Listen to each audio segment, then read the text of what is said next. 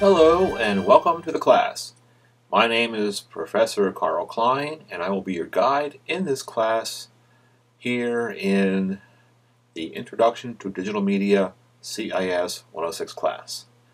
I'm looking forward to joining you this semester in this journey through the world of digital media.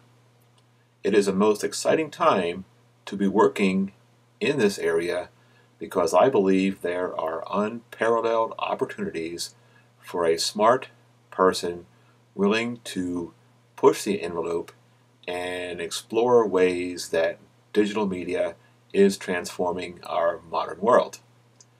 Here in this first learning module, we will take a look at uh, some things to get us started. You'll find that in each module I've got pretty much of a parallel design as you work through the class. So if you spend some time figuring out how things work here in this first learning module, you'll be well prepared for the rest of the class.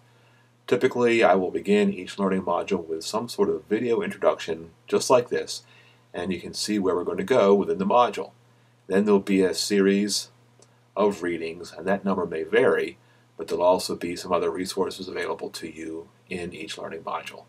And then each learning module will have a discussion, and then also some sort of final learning assessment uh, for me to look at what you've learned from the module. Um, so I hope you have a good time in the class. I think it's interesting. Again, I'm glad you're joining me, and I will see you here again in another video window in just a little while. Take care. Cheers.